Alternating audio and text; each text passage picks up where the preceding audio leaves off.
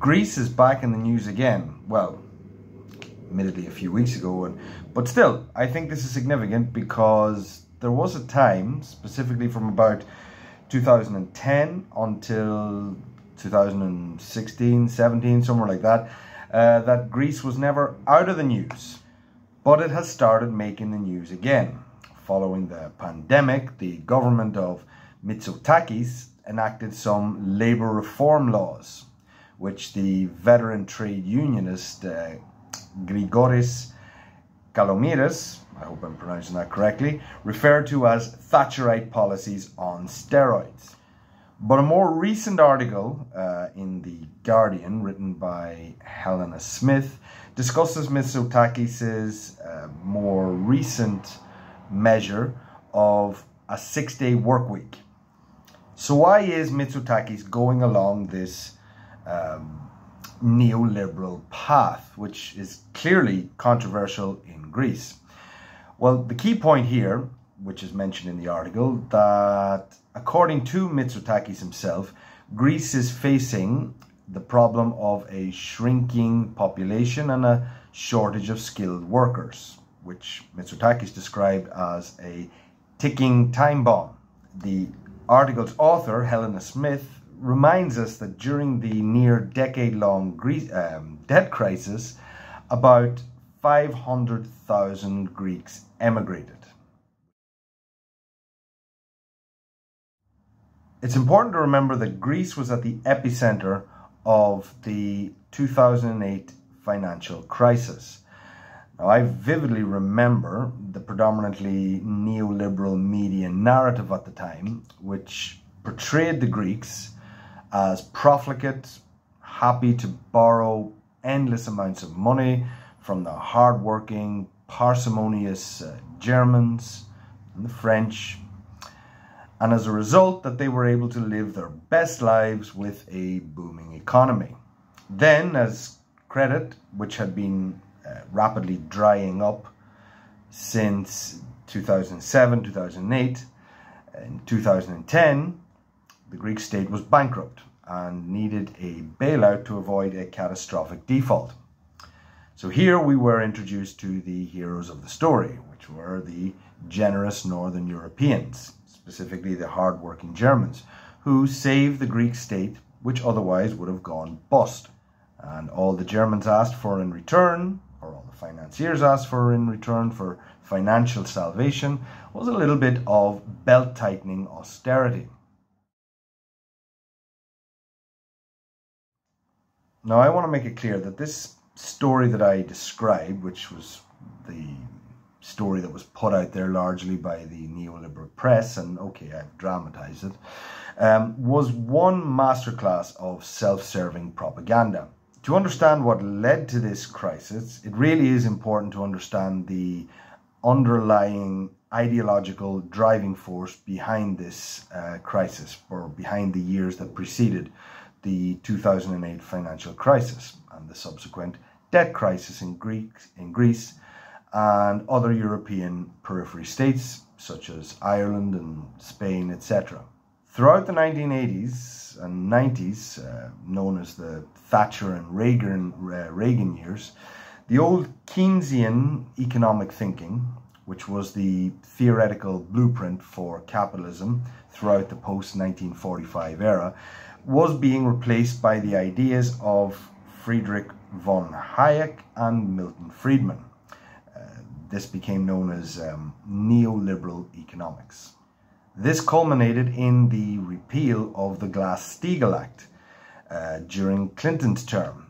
Now, this effectively removed all key regulatory rules. In the absence of rules that regulated their behavior, banks basically created all sorts of complex financial products that were designed to de-risk extremely risky behavior they went on a lending frenzy, not only to each other, but basically to anyone and everyone that was willing to borrow for them.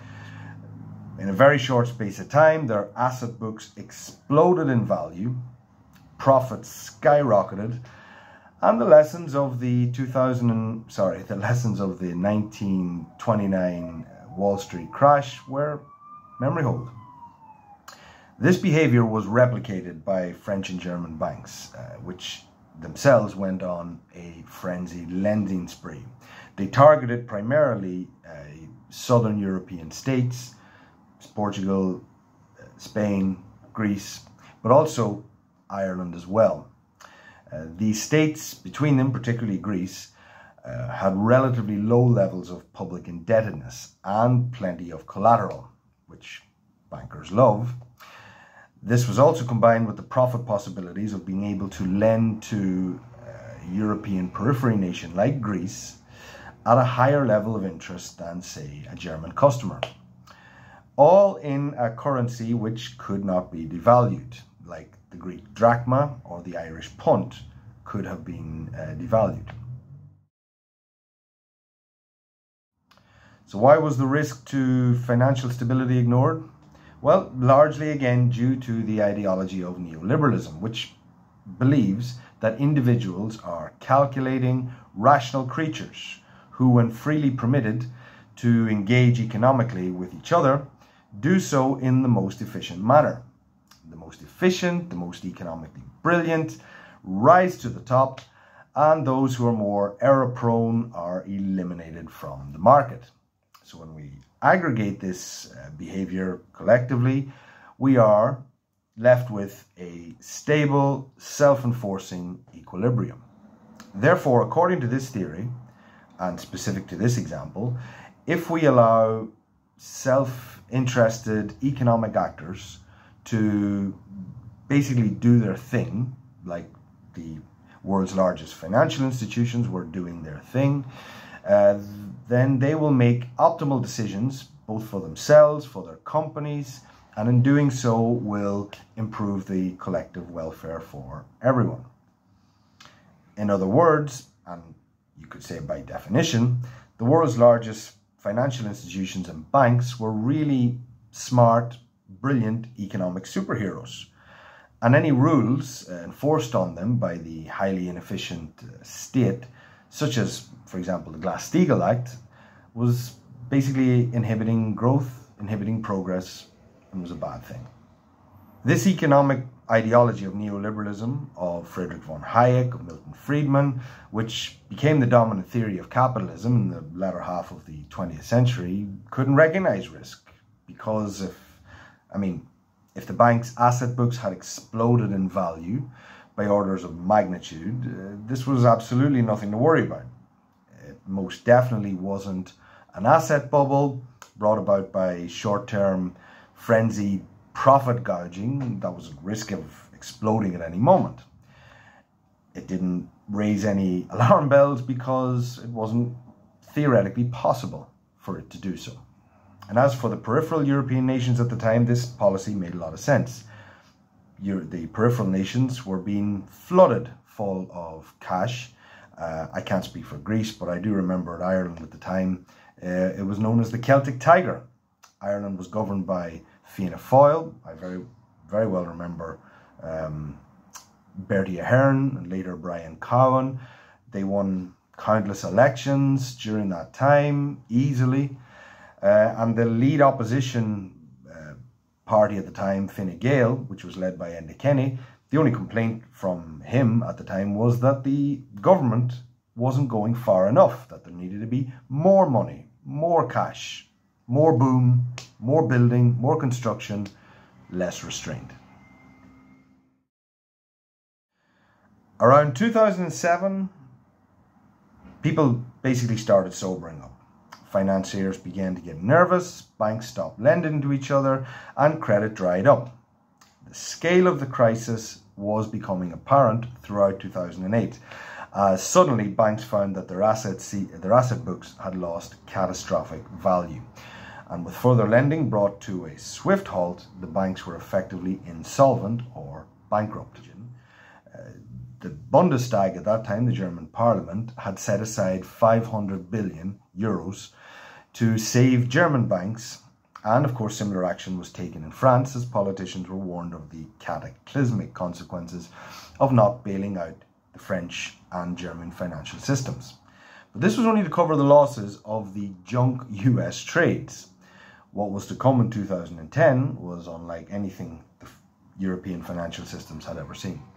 In early 2010, the French and German banks were owed something like 200 billion by Greece. And the total exposure in 2009 of German banks in particular to peripheral European nations added up to, I think it was 704 billion euros. So basically, the risk of contagion, had Greece declared bankruptcy, would have taken down the German and French financial system with it. So, in other words, it became imperative for, uh, at least for the German and the French financial systems, for Greece to be saved. Naturally enough, the Germans weren't very keen on this idea, so solidarity came with austerity. States like Greece now had to shrink their national incomes by enormous amounts to repay their debts. This meant, in real terms for the Greeks, massive reductions in pensions, public services, and public salaries. Why? Well, again, it's important because the actual financiers and bankers that caused this mess were not prepared to accept the blame themselves. So it was necessary to redirect German public anger towards the Greek people, some of which, like some Irish people, like some Spanish people, like some Portuguese people, obviously did uh, benefit from all those years of frenzied lending. The vast majority of which did not, and that is a key point. The ECB, the IMF, and the European Commission, known collectively as the Troika, uh, the policies they pursued effectively plunged these peripheral European states into very long and very protracted recessions, particularly Greece. So, what did we learn from the 2008 financial crisis and indeed the Troika's response? Was that, well, basically, whatever the cost was going to be, neoliberalism was going to be protected. And if the ideology was going to be protected, this basically means that it's very likely this type of mess would happen, could happen again. However, if it were to happen again, the results could be a lot more devastating than they were uh, back in 2008, especially for a country like Greece, which, have, as we have seen, has never really recovered insofar as its population and is facing a serious crisis, uh, a serious long-term crisis. For example, in the years leading up to the 2008 crash, the EU was going through an economic surge, uh, albeit on borrowed credit, but it, along with the United States, stood firmly at the center of global economic power, and in the case of the United States, of course, military power. There was a strong sense of optimism in 2005, 6, 7, etc. I, I remember it very, very well. Germany was an industrial powerhouse, completely awash with, with money. Contrast that with the situation in the EU today. Right now, Europe is experiencing a cost of living crisis. Germany is deindustrializing and is teetering on a recession. Growth across the EU is pretty much non existent. And EU citizens have already been through a devastating financial crisis and the effects of the lockdown policies, for which many people, in both cases, haven't recovered. In short, the EU is simply not prepared for another 2008 style financial cr uh, crash. For example, in an article from Phillip Inman uh, in The Guardian back in March of this year, he makes the point that and here I'm quoting directly, the US economy zips ahead on fantastical stock market valuations and off balance sheet accounting reminiscent of the years before the 2008 financial crisis, and how both these habits could bite back in a big way, much as they did in 2008 and pretty soon, without any real meaningful change in economic thinking. The risks simply of another financial crisis are very high, and we have a European population that's even that is in an even worse position to deal with it, should it happen. Mitsotakis talks about a ticking time bomb facing Greece. Well, I'm curious to know uh, what would Mitsotakis' solution be to another devastating financial crisis like the one that Greece suffered from before. He's already acting a six day work week, maybe a seven day work week, maybe extending the working day to 20 hours. Who knows? But I would suggest that this is the real ticking time bomb that Mitsotakis should be concerned about. Well, thank you for watching the video. Um, of course, if you liked the video, please remember to click the like button, subscribe. It's always fantastic when people do that. And see you guys soon.